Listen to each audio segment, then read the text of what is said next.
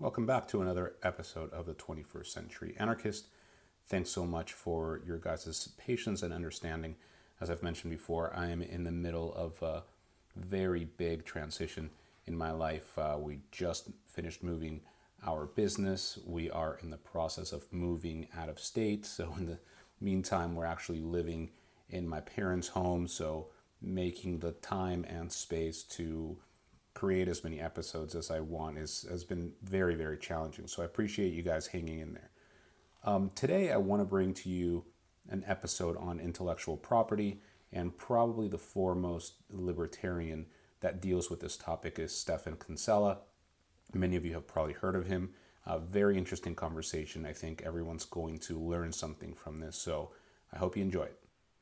All right, on the phone I have Stephan Kinsella.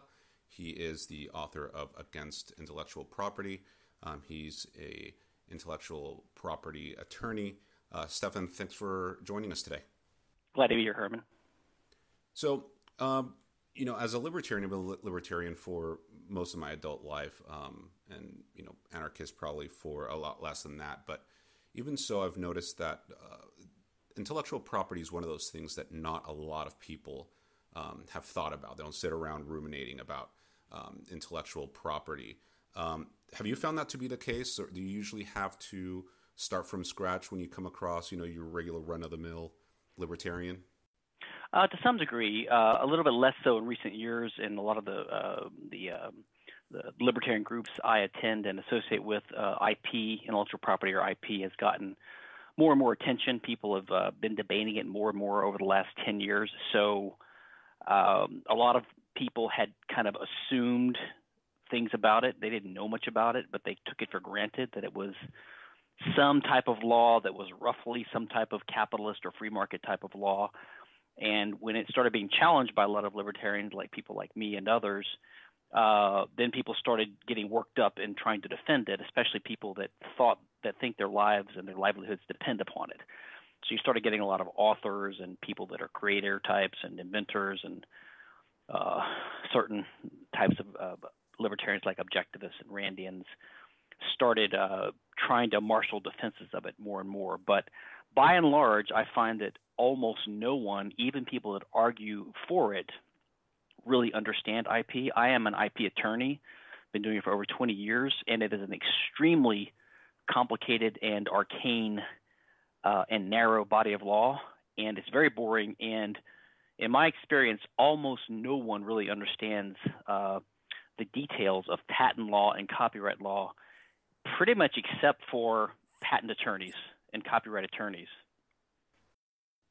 Well, that's just good news for them, right? That means uh, a lot of business. They're the the only ones that can, uh, you know, translate it. Um, Correct, and surprisingly, 99% of them support IP law because uh, it pays the bills, and uh, they have a lock on this narrow specialty area of law. And uh, but the, the, interesting thing is, you know, I'll often get a, a libertarian, um, and I am opposed to IP, and I can explain why.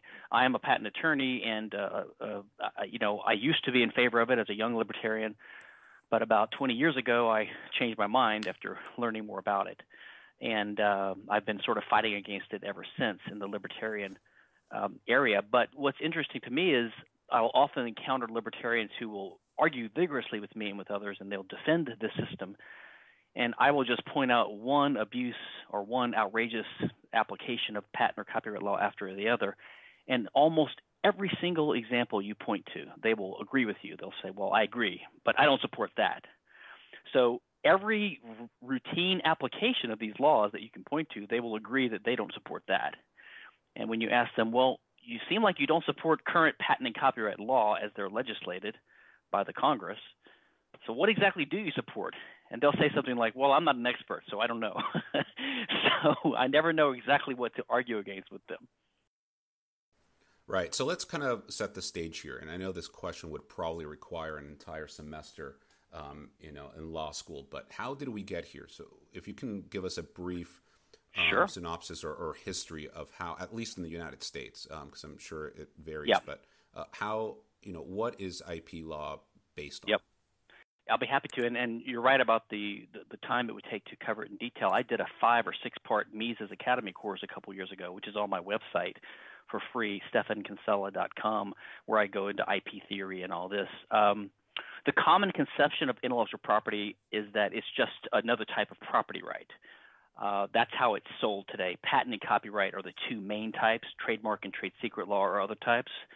Patent protects in uh, it gives the inventor of a of a new invention that's a practical device or process a monopoly over that for about 17 years. Only they can sell it basically or make it. And copyrights give the creator of an original work of authorship, like a, a novel or a painting or software or a movie or a song, um, a monopoly over that for about 120 years roughly. Okay, life of the author plus 70 years it originated, and so everyone thinks of this as a, um, they think of it as a property right now because it's called an intellectual property right. It's called intellectual property because, unlike other property rights in land and things like that, it's said to uh, cover objects or things that are created by the intellect, by the mind, right? Inventions and songs and things like that. So it's given that label by its defenders to make it sound like a type of property right. Uh, but honestly, these things originated um, patents originated in the practice of governments, you know, hundreds of years ago. the kings basically selling monopoly rights, uh, selling protectionism to favored court cronies in exchange for favors or, or money or tax collection duties, something like that. So they would say, "You're the only guy that can sell playing cards in this town." Okay, they just gave them a monopoly. It was called a patent. A patent means uh, like an open, uh, it's called a letter patent. It means an, it, it's an open instruction from the king to the community that only this guy can sell playing cards. So he was basically just selling monopolies to people. Um, this got to be so abusive that the, the, the, Parliament in England in 1623 passed something called the Statute of Monopolies to try to rein in the king's power but they were they left in place the ability of the king to grant monopolies for inventions that is you know unique technical advances. And that is the origin of modern patent law in the US Constitution followed from that. So patents basically originated in the practice of the government granting protectionist monopoly protection to certain people in certain regions of their of their domain. Copyrights originated when the printing press started emerging and the ability of of uh, people to uh, publish books started threatening the monopoly that the court, uh, the church, and the and the government had, or what books the scribes would hand copy before that, right? And what information could be given to the public. And so this started threatening their control of information. And so the uh, the government established regulations on who could be the official publishers and things like that. That eventually morphed into the Statute of Anne in 1710 which is the origin of modern copyright. So, copyright basically originated in the attempt of the church and the state to control thought. Basically, it was a type of censorship.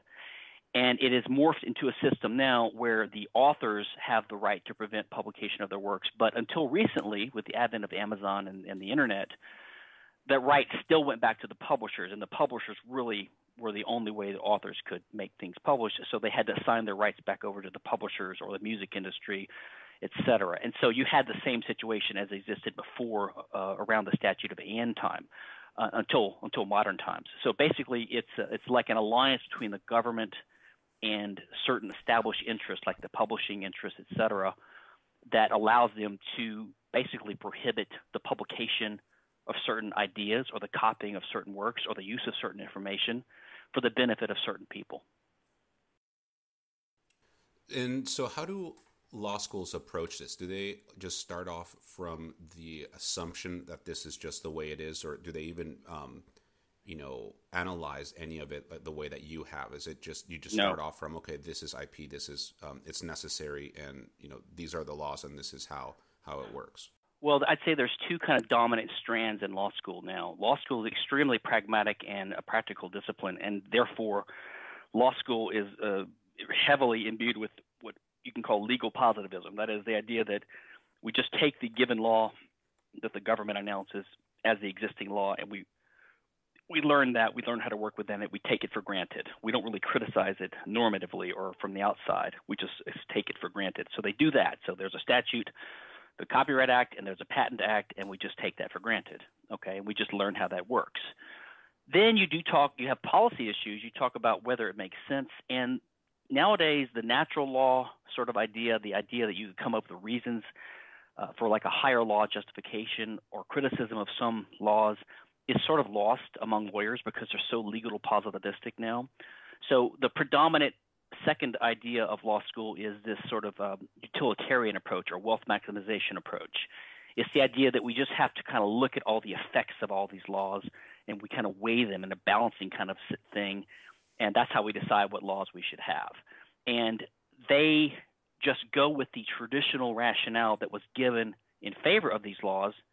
What happened was these laws were seen early on by defenders of the free market, like let's say in the 1800s, early 1800s, in America and in Europe. They were widely seen by free market economists and others as monopolies granted by the state, and they were encroachments on the free market, and they were heavily criticized. Especially patents came under a lot of criticism, and there was a movement to abolish them. So the defenders and the interests that had grown up around them and depended upon them um, mounted a defense. And one of the defenses was, well, this is just a natural right, it's a type of property right. So they started calling it intellectual property no one really has ever quite bought that because these rights expire after a certain number of years. You know, 17 years for patents, 120 years for copyright, and regular natural rights don't expire. So everyone sort of senses that these rights aren't really natural rights. So the second argument that they came up with was that, well, these are necessary to stimulate innovation. So it's a utilitarian idea. The government can come in and sense that there is a problem with the regular free market, that we would have an underproduction of innovation, inventions, and creative works because that's a market failure, basically. That's what their argument effectively is. In fact, that's in the words in the Constitution, which grants Congress the power to enact copyright and patent laws, which says that um, Congress has this power, you know, to promote the progress of science and the arts. So the idea is to promote it. We're going to let uh, people have a temporary monopoly, even though that monopoly is in derogation of the free market.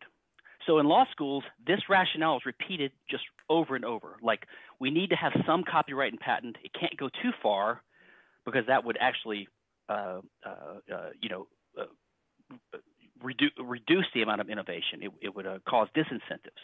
But if you don't have any, you don't have enough incentives. So we need to fine tune this and get exactly the right amount of stimulus from the government system to stimulate extra innovation, extra creativity, and then they just announce, well, it's 17 years for patents and 120 for copyrights. But the funny thing is, there are simply no econometric or other studies that prove this whatsoever. They don't have any objective basis for the for the numbers. In fact, the number of copyright term was originally 14 years at the founding of the of the country, 1790, uh, and it's since been expanded over and over and over again at the at the behest of lobbyists like Disney. Every time Mickey Mouse is about to go into the public domain, they lobby Congress, like Sonny Bono Copyright Act extension, right? And they get another 20 years of reprieve for Mickey Mouse. To the point now where it's going from 14 to 28 to 56, now to, to then to life of the author plus 50 years, now life of the author plus 70, and now there's lobbying right now for even more term, another 20 years to be tacked on. So there's no way you could argue these terms are objective. They're simply the result of basically bribes of the legislature by special interests to keep their monopolies going longer and longer. But in law school and among the patent bar and the copyright bar and among the advocates of, of these systems, they repeat this rationale that you need this incentive effect it's a utilitarian argument, but they never provide any studies that prove this. All the studies, in fact, that I've seen, I've seen dozens, either are inconclusive. They say we just can't figure this out because this is not how human life works. We can't know what the effects of these policies are. We see some good, some bad.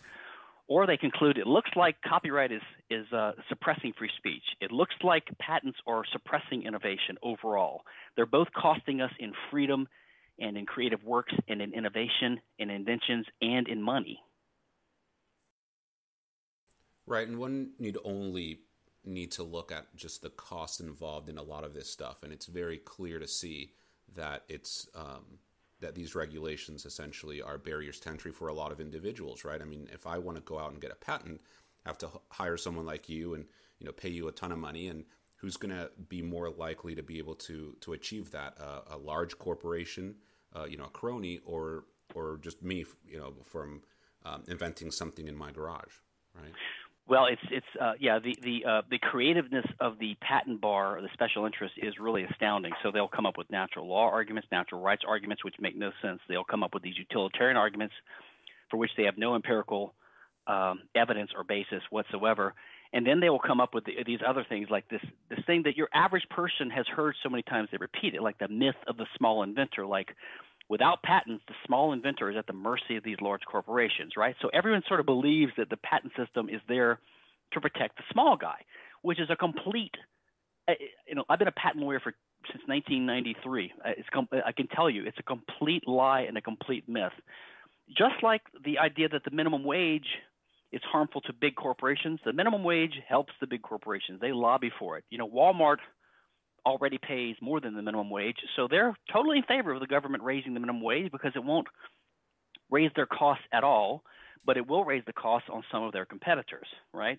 So you have these pro, these policies that that are sold like uh, you know Brer Rabbit going into the briar patch saying, "Oh, please don't do this to me," and everyone thinks that big business is against these laws, but they're not uh, they actually help them. They entrench big big corporations and big big business um, in their professions. In the patent field, the way this works is the the cost of acquiring patents is not cheap, but big corporations can afford it.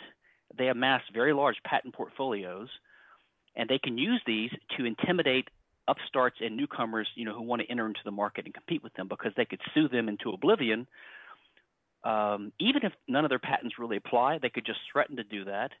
And the, the cost to a small business or a small entrepreneur to defend themselves would be at least a million dollars, if not two or three, to defend themselves in court. And they don't have any money to do that. So they, they're always afraid to enter the market or they give into pressure or they get bought out right away or they get crushed and then, then they, and they get driven into bankruptcy. And then the, the large company buys up this company, absorbs them.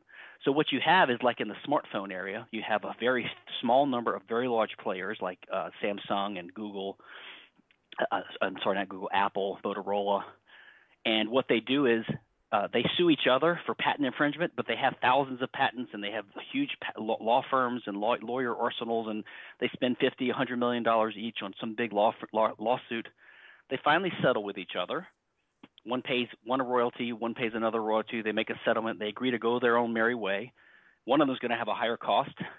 They both have a higher cost because they spent money on their attorneys, but they just pass it on to the consumer who has no choice but to pay it because there's no competition, because there's no small upstarts that can compete with them because of the patent system. So there is no doubt whatsoever that the patent system helps entrench cartels, basically, or oligopolies. It reduces competition and therefore it reduces innovation because – you don't need to innovate as much if you have a comfortable perch with only a few uh, competitors. And furthermore, if you can rely upon your patent for 17 years, that reduces your incentive to innovate because you can just ride on your on your laurels for a while. You know, you can you can ride on this innovation for a while because now you have protection. No one can compete with you on that innovation. If there were a true free market, you would have to keep innovating all the time because every innovation you introduce into the market would very very soon be copied and emulated by other competitors. So there'd always be a furious pressure to keep innovating. Now let's take a step back real quick, just to make sure that people can intellectualize exactly what you're saying. Um, when we're talking about the concept of intellectual property, what is what are your you know main arguments against it being property as we know it? So, my main argument against it is it, comes from an understanding of what the purpose of property rights are in the first place and an understanding how these systems work. Um, let me make an analogy. Um, uh, the libertarian typically says something like, We're in favor of individual rights or natural rights, or we call them negative rights. A negative right just means the only obligation you have is to refrain from doing something to me. That is, you have an obligation not to invade my property rights, not to commit a tort against me, not to murder me, not to steal from me. So all rights are in, in libertarianism are negative. That's what the non-aggression principle means. You have an obligation not to aggress. But you don't have an obligation to provide me with food or shelter or education or sustenance, whatever. That would be a positive right. The reason is positive rights, every right correlates to an obligation. So a negative right means there's a negative obligation. And we're okay with that. We're okay with saying people do have an obligation not to harm us because all they have to do is mind their own business, stay on their own property, and just refuse to enter my property or use my body or my property without my permission. But the modern mentality is that, well, negative rights are all fine, but let's just have some positive rights too, right? Let's have the freedom from fear, the freedom from want. And so the modern liberal, the social democrat mentality is that we can just add to the list of negative rights some positive rights. Let's have some positive rights too. Why shouldn't we have a rich country and let people have free education and free health care? Well, the libertarian typically understands that every time you recognize and set up and grant a positive right, it's not free. It comes at the expense of negative rights, right? Because if I have a positive right to health care, someone else has a positive obligation to provide it to me, which means taxpayers have to be taxed to pay for it, basically. Right? So we recognize that negative rights are the only type of rights that can exist, and if you grant positive rights, it always comes at the expense of genuine negative rights. It's the same thing with intellectual property rights. If you understand the purpose of property rights is basically to permit humans to cooperate in a world of scarce resources. This is the situation we find ourselves in on this earth and in society and in our lives. We find ourselves in a world where there is scarcity. There are things that we want to use, scarce resources, material resources, you know, land, food, objects, wood, water, our bodies, uh, animals, fur, bones, whatever, airplanes, cars nowadays. Um, we need to use these things to control the world. This is how we live our lives. But there is a possibility that we could have a conflict over who gets to use these resources because of their nature. Their nature is that they're scarce, which means that they're rivalrous, which means there can be rivalry or conflict over them. And instead of us having an, attention, uh, an eternal war of all against all, we want to live in society with each other. We want to live cooperatively and peacefully. And instead of fighting physically and doing battle over who's going to be able to use this turf of ground or this whatever, we prefer to establish property rules or norms that says, listen, let's just come up with a scheme that says for everything that could be fought over, there's going to be a rule that says who the owner is.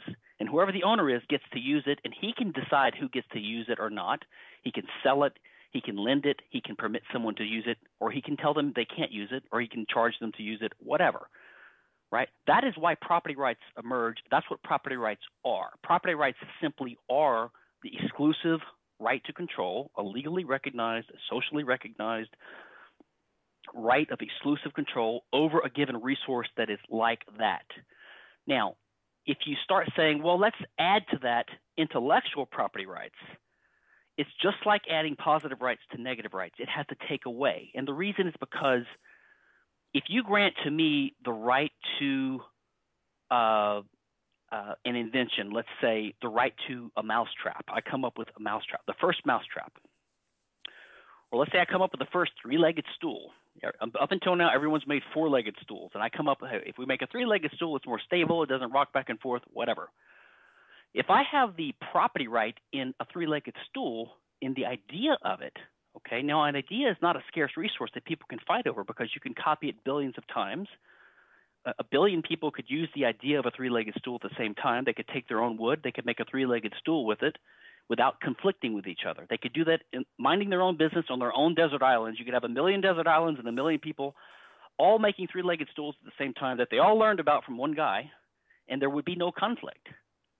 So if you so property rules already prevent conflict over their particular stools, but if you give someone a property right in the idea of a stool, what that means is they automatically now have a property right in basically all the wood in the world. Do you see? Because what they now have a property right in is they is in the wood owned by you because they can prevent you from using your wood as you see fit even though you own that wood you can't perform certain motions now with your body and with your wood and with your nails and your hammer and your and your you know carving instruments. You can't shape that wood into this particular shape because they own that shape. Which means that a property right in an idea effectively grants the owner of that property right ownership rights in the material resources of everyone else around the world, including their bodies. So it's basically a type of redistribution of wealth or theft or slavery, even in a sense. Uh, this is the ultimate problem with intellectual property: is that it basically undercuts and undermines the basic libertarian property rules. The basic libertarian property rules are very simple. It is when there's a resource over which there can be conflict, we identify the owner according to three very simple rules. Those are number one, who first who first owned it. That's that's homesteading or original appropriation, according to Locke. Number two, did anyone make a contract giving it to someone else? That's cons- that's consent. Or number three, did someone who owned the property commit some kind of violence or tort against someone else so that they owe them some kind of re- restitution or rectification? In which case, they, that victim might have a claim over that person's property. But only those are the only three rules you have to consult to determine who the owner of a piece of property is right? Who first found it? Was there a contract? Did someone commit a wrong? Right? And if you have an intellectual property rule, what you're doing is you're saying, well, there's a fourth rule now to determine the owner of this resource. So if you have a stool made of wood that you own that you found from the from the forest that was unowned and you use your own labor and your own body to make this stool, but someone else can now claim they own that stool because they have the ownership of the idea of a stool, well, then you're coming up with a fourth rule saying, well, to determine who owns that stool, we have to ask who first found it, was there a contract, was there a tort, or did someone else think of something first? you see? So now we have a fourth rule which undercuts the others. But such a rule is nonsense because just because you think of something and you make that idea public and someone else learns from you, you're not really committing a tort and you're not entering into a contract with them. If you want to keep your ideas to yourself, you need to keep them to yourself. Yeah, and I think that the the problem that a lot of people have with um, with what you're saying tends to be more emotional in that they want to protect that individual, right? They might say, "Okay, fine, I agree that that ideas aren't scarce, but great minds are. Yeah. So if someone comes up with something first, um, then we want to protect that individual and we yes. want them to benefit from those great ideas that they come up with. Yes. Yes, and so that is a common impulse. Um, well, first of all, there's a bit of an equivocation that goes on there. Um, they're using the word scarce in a second sense, meaning rare. When we say a scarce resource, we don't mean rare, we mean it's rivalrous, but basically it's the type of thing that particular thing can only be used by one person at a time. Um, uh, you wouldn't really say that smart people are, are, are, rivalrous. You would say they're rare. That is, and that is true. Um, the problem here is the libertarian falls into the type of thinking that we see commonly among standard statists and mainstreamers and Democrat socialists, where, for example, if you oppose state subsidy of education or you oppose the state um, uh, subsidization of art through the National Endowment for the Arts, then the standard liberal will, will, will accuse you of being a Philistine and, and, and being against the arts or against education. They can't conceive of uh, uh, education being provided to the public without the government doing it. So if you're opposed to the government doing it, they think you're opposed to the thing itself. Whereas libertarians usually are smart enough to realize that you can be opposed to government subsidies of something without being opposed to the thing itself, right? but they fall prey to similar logic in the case of, uh, uh, of, of, of, intellectual property, partly because this idea has been so entrenched by now and so ingrained in in Western property systems, which we libertarians have been taught to think of as some kind of rough approximation of a libertarian order, right? The West, England, America, early America, the common law. These property rules we have are not perfect, but there's some rough approximation of capitalism and the free market that we would favor in a free in a free market system, and so we take for granted the legitimacy of what's going on.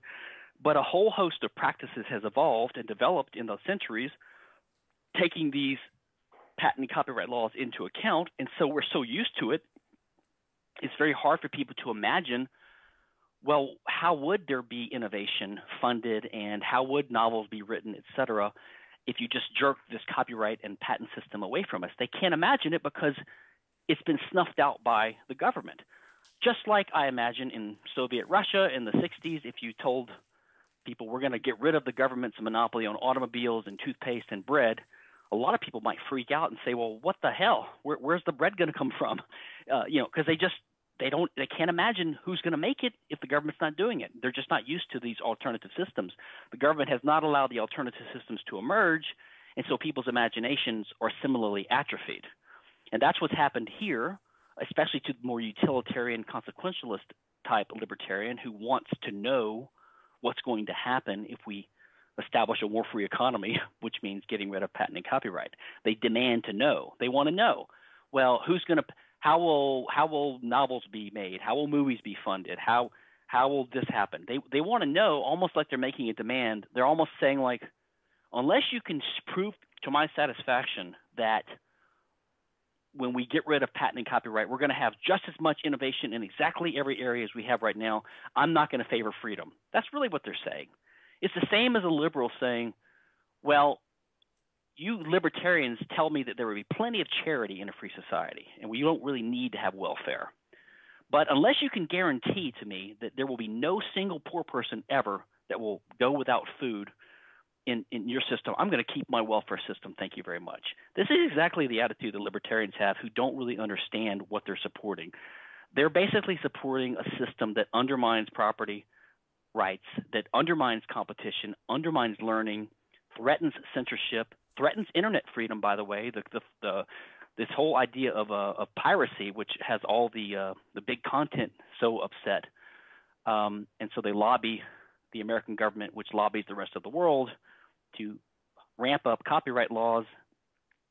Uh, it, it actually putting people in jail for pirating movies and books, things like this. Aaron Swartz, if you recall, committed suicide because he was he was facing decades in prison for copying some journal articles from a university.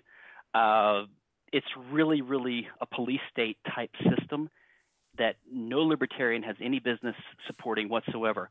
If they don't understand it, I could understand being silent and mute about it and being listening on the sidelines. But for any libertarian to vocally support patent and copyright is either um, uh, an act of complete irresponsible ignorance because they don't know what they're talking about and they really should be quiet, or it's an act of evil and completely unlibertarian. They actually know what it is and they're in favor of it anyway.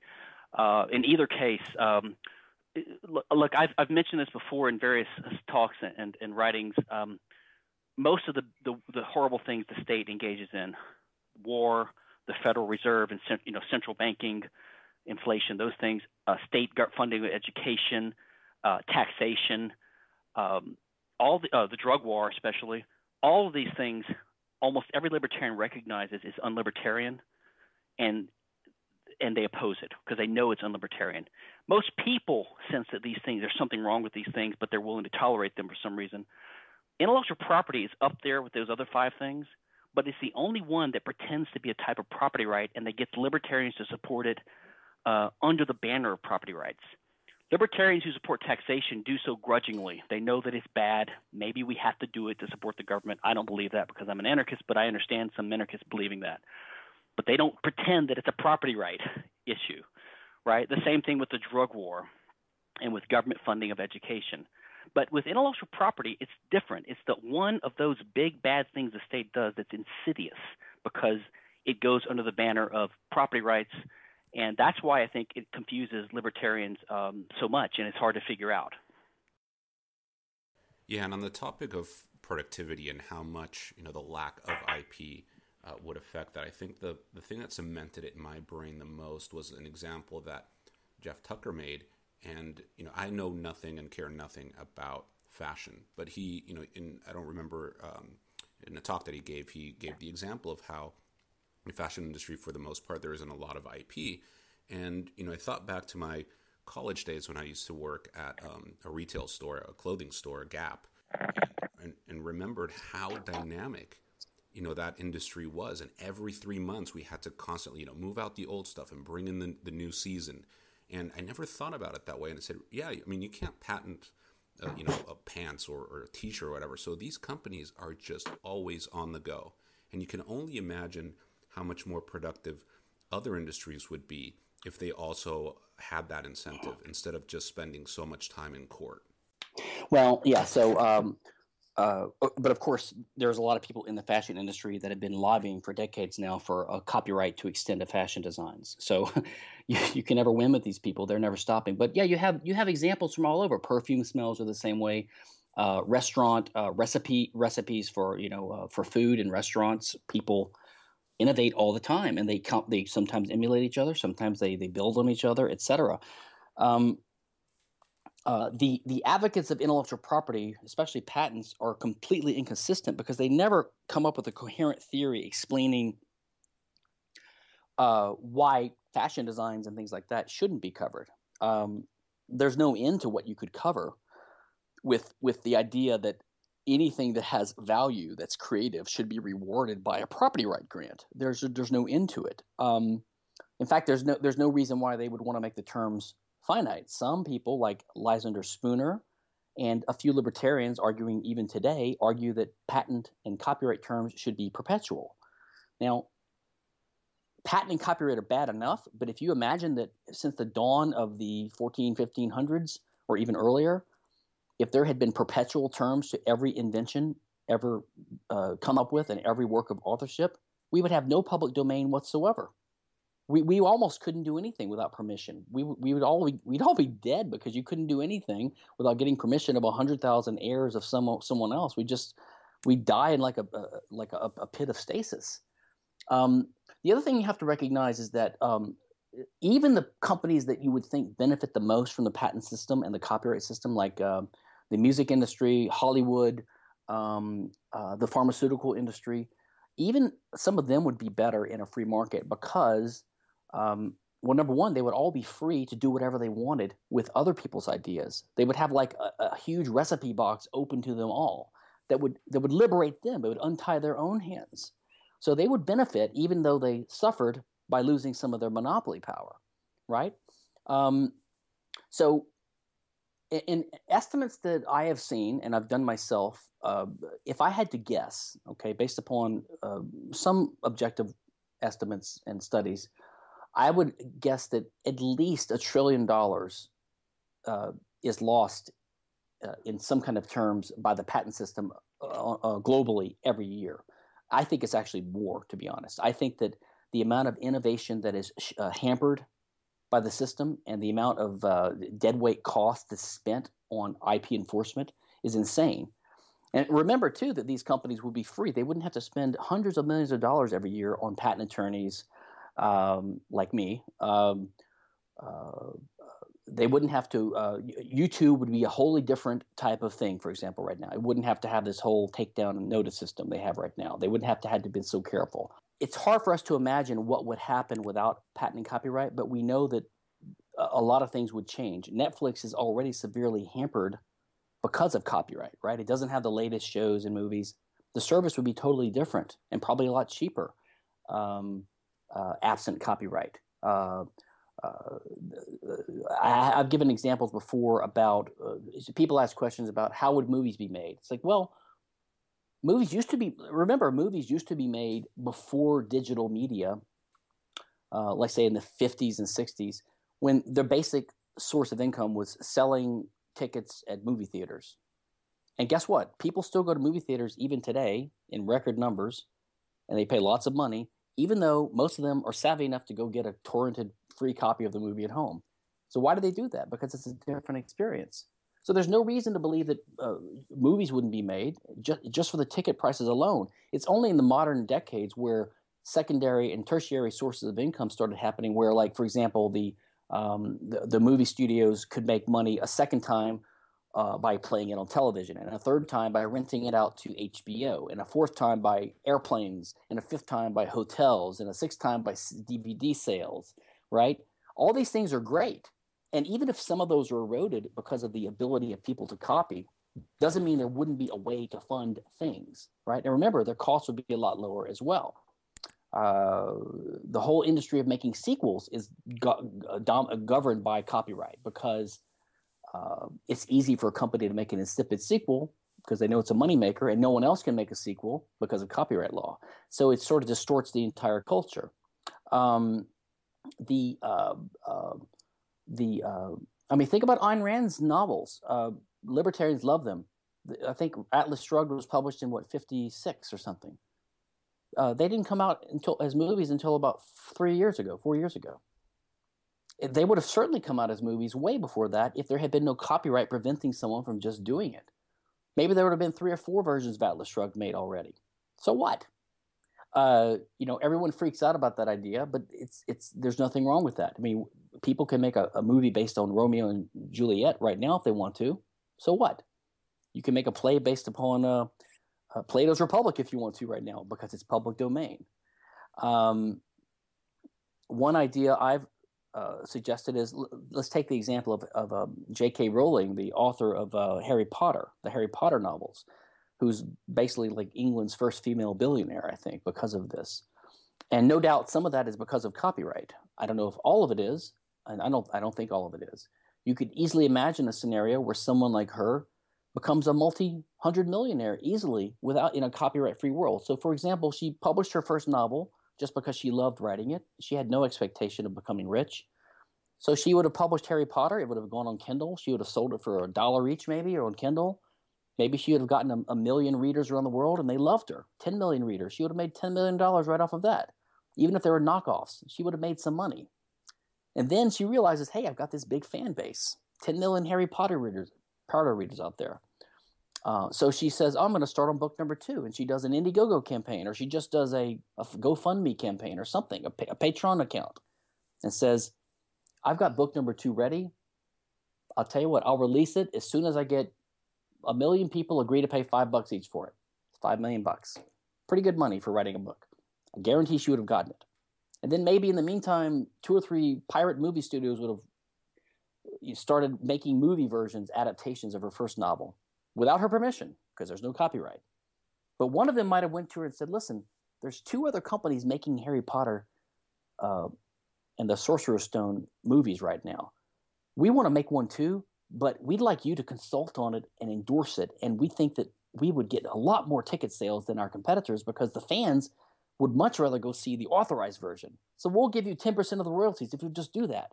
You know, so now she's got another 50 million in her pocket. I mean, there's any there's any number of ways you can imagine someone like her making money. They just have to figure it out. You have to figure out a way to be an entrepreneur given the property rights system of a free society.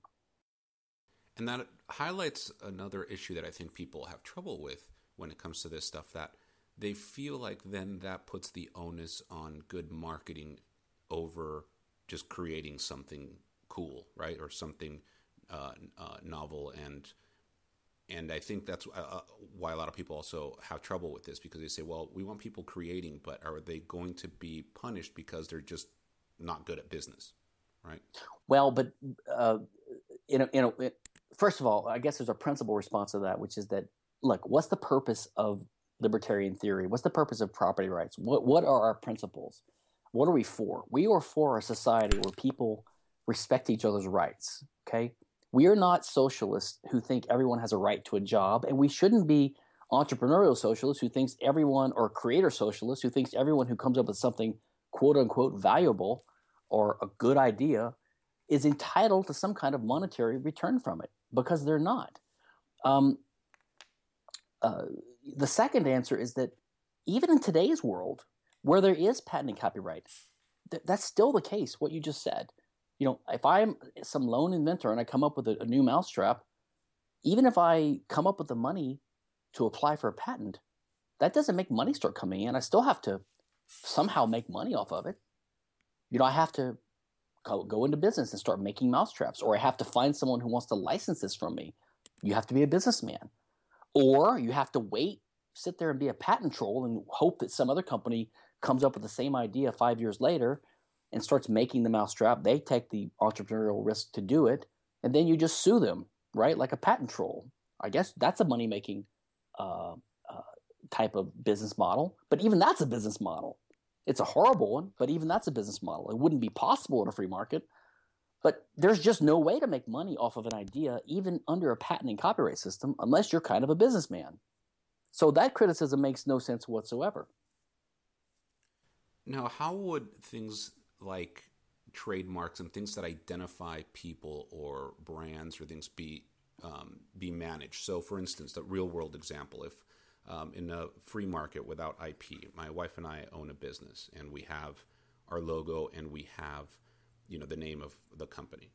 So, how would one go about protecting that or making sure that another company doesn't just, you know, they see that you're successful, they start using your company's name and your logo? right. Different from the other things. Now, now, tr- so trademark is like the third big type of IP. It's not nearly as big in terms of damage as patent and copyright and it's not nearly as obvious to most people that co- trademark law should be totally abolished as well, which I believe it should be. Uh, let me explain why. First of all, um, Rothbard has explained uh, in the Ethics of Liberty. Um, well, he was a little confused on copyright, but he was good on patents, but he was also good on defamation law, which is reputation rights, which is basically trademark is a combination of fraud law and reputation rights. Okay, and I'll explain that in a second. Um, and contract law. Um, uh, reputation rights or defamation law says that if you have a reputation, then if someone slanders you or defames you or libels you by telling a falsehood about you that harms your reputation, you can sue them. Rothbard explains what that is an unlibertarian type of law. You don't have a right to your reputation because reputation is just what other people think about think about you. You don't have a right to their opinion or their brains. And I agree with that totally. I actually think defamation law should be considered a fifth type of IP, but it's not normally considered so by lawyers, but I think it should be. And it should be struck down for the same reasons. Um, trademark law is usually justified, even by libertarians, even by ones that are skeptical of patent and copyright, by saying that it's just a way to prevent consumer fraud. Um, or they blend it in with this reputation issue, like, well, you have a right to your reputation. So the way I look at that is this: um, first of all, you have a name. I have a name. My name is Stephan Kinsella. You, your name is Hermann. Um, you know, your son might have a name. It might be the same as someone else's name. You don't actually need the government, a government legal system, to that for you to have a name. In fact, you have a reputation. I have a reputation in the community. I don't need government laws to have a reputation. There will be reputations and there will be names including business names, right? So that's the first thing. You don't need a government system to have a reputation or to have a name. Um, second of all, the threat that you're talking about is almost non existent. So if McDonald's had been a popular hamburger chain, well, when Burger King or Wendy's started up to compete with them, even if there hadn't been trademark law, usually these companies don't want to mimic and copy the other company. They want to start their own chain with their own name. It just is not going to happen that you're going to have someone come up with a renegade McDonald's because sooner or later the word is going to get out that there are renegade McDonald's, right? And customers will either start suing them for fraud. Now, there's a type of fraud law I support. If you go to a restaurant or to a, a company and they pretend to sell you something that's not legitimate, then that is a type of fraud which is why trademark law is not necessary based upon fraud because there's already fraud law or contract breach. So to the extent trademark law duplicates what fraud law already does, it's not necessary. But trademark law goes far beyond that. So, for example, um, if I make a knockoff uh, Chanel purse, right, that normally sells for $500, and I sell it to you for $5, now Chanel can stop me from making that sale and they can confiscate with the power of the government all the purses in my warehouse and destroy them right? That's what trademark law gives them the power to do.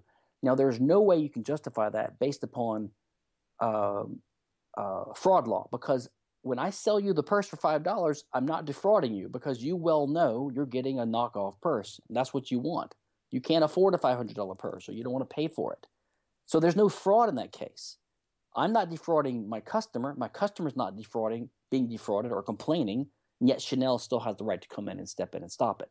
So to the extent trademark law deviates from fraud law, it's illegitimate. That's why I would get rid of it.